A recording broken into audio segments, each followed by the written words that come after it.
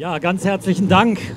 Ganz herzlichen Dank den Organisatoren und auch die Möglichkeit natürlich hier ein paar Bemerkungen äh, loswerden zu können, in, sozusagen mit zwei Jacken an. Das eine ist die Jacke, die ich trage als Abgeordneter des Deutschen Bundestages. Ja, wir wollen eine nachhaltige Verkehrswende unterstützen auf der Bundesebene. Wir wollen den Klimaschutz voranbringen. Und ja, es ist richtig, die Citybahn ist für die Region, für Wiesbaden, aber auch für den Rheingau-Taunus-Kreis mit der Verbindung nach Mainz eine hervorragende Möglichkeit. Deswegen ist es ganz wichtig zu sagen, ja zur Citybahn. Das ist das, was wir uns auch vorstellen in der Entwicklung, in der Regionalentwicklung. Und deswegen ist es tatsächlich so, dass es wichtig nochmal zu betonen, dass der Bund 75 Prozent der Kosten für dieses Projekt übernehmen wird, wenn die Wiesbadenerinnen und Wiesbadener am 1.11.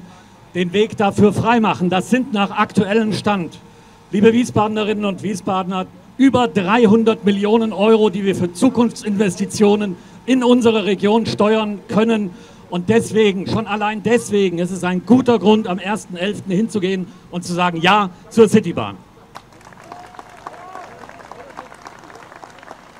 Denn man kann nicht auf die Idee kommen, dass diese 300 Millionen für irgendetwas anderes in die Region kommen. Auch das muss man in aller Klarheit sagen. Dieses Geld wird in schienengebundene Verkehre investiert. Und wenn wir das in unserer Region versauen, dann freut sich Hamburg, Stuttgart, München oder wer auch immer. Nichts gegen Hamburg, Stuttgart oder wen auch immer. Aber ich möchte, dass die Mittel bei uns anlanden und uns zu, zu, zu, zugutekommen und unseren Menschen hier in der Region Mobilität für die Zukunft sichern. Ich will als Taunussteiner eine persönliche Erklä Bemerkung vielleicht noch machen. Ja, ich gehöre auch zu denjenigen, die regelmäßig im Auto auf dem ersten Ring stehen oder auf dem zweiten Ring stehen oder auch auf der Schwalbacher stehen. Die, die sich darüber ärgern, dass die Platte, die eiserne Hand oder die A-Straße mal wieder verstopft sind. Und das mache ich nicht, liebe Wiesbadenerinnen und Wiesbadener, um Sie und euch zu ärgern, sondern das mache ich deswegen, weil ich keine andere vernünftige Möglichkeit habe, schnell aus meinem Heimatstädtchen Taunusstein über Wiesbaden nach Mainz oder auch ins Rhein-Main-Gebiet schienengebunden zu kommen. Und das geht ganz vielen Menschen aus dem Rheingau-Taunus-Kreis genauso wie mir.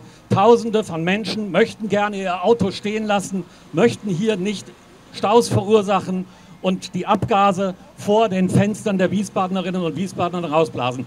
Auch das mag für viele Wiesbadener ein guter Grund sein, am 1.11. für die Citybahn zu stimmen. Denn das ist ein guter Weg, von den Wiesbadener Straßen eine ganze Menge Autos mit dem Kennzeichen SWA und RÜD einfach mal runterzukriegen. Auch das kann man den Wiesbadenerinnen und Wiesbadenern sagen.